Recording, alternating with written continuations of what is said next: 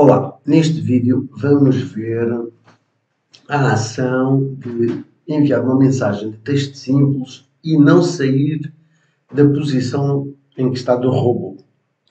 Então, uh, neste momento eu estou aqui com o meu, com o meu uh, robô ligado, ele está ligado, está a funcionar, está a tentar baixar e aqui tenho a minha.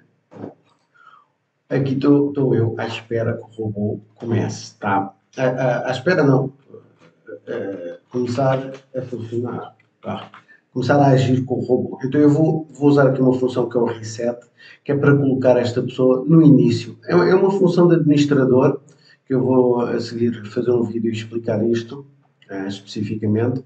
É uma função de administrador para colocar uh, o, o, WhatsApp, ou este número do WhatsApp, no início do robô novamente, na mensagem inicial, porque desta forma senão uh, vocês não. É, fica mais difícil testar o robô, não é? Então é por isso que serve esta função. Por isso não é para o usuário. Então eu fiz reset aqui, ele vai baixar esta mensagem e vai colocar o, este subscritor no início da, da, da mensagem. E cá está, no início do robô. Então mandou, o robô mandou logo uh, esta mensagem. Por favor, escolha uma das três opções a 1, 2 ou 3. Então, eu vou colocar aqui 1. E o que é que ele vai fazer? Ele vai responder à pessoa, só para você ver. Que eu depois vou mostrar como é que eu configurei isto, tá? Então, não sei, você escolheu 1 e não faz mais nada. Se eu puser, por exemplo, A1, ele vai baixar outra vez o A1. E o que é interessante é que ele é, do, ele elimina os duplicados, tá? O robô só vai responder à primeira, tá? Escolheu o A, o 1, ele é eliminado, que nem aparece aqui.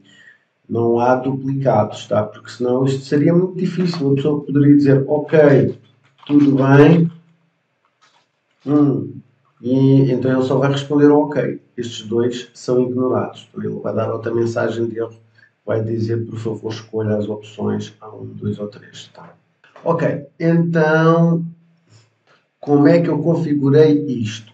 Vamos ver. Então, vamos aqui às mensagens pré-gravadas e temos aqui menu de formação. Se nós virmos aqui no robô, temos menu de formação que eu criei só mesmo para, para este caso. Tá? Aqui, duplo clique e ele vem para aqui.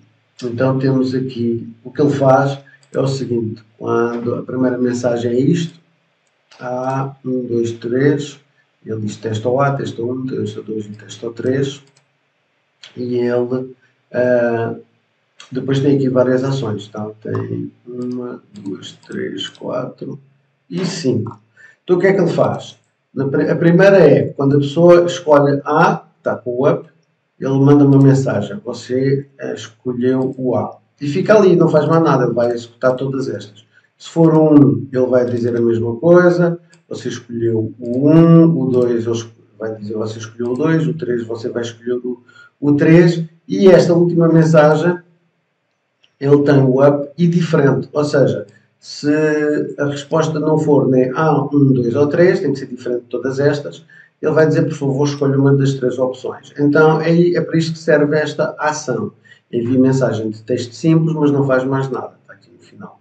Então, o que é que ele, o que é que ele faz? Simplesmente manda a mensagem e fica nesta posição e vai, e vai executando as ações todas. É diferente de, por exemplo, chamar uma mensagem gravada em que ele vai chamar outra mensagem que está aqui. Neste caso, vem para aqui. Tá? E quando eu quero saltar, basta clicar aqui e ele vem para aqui.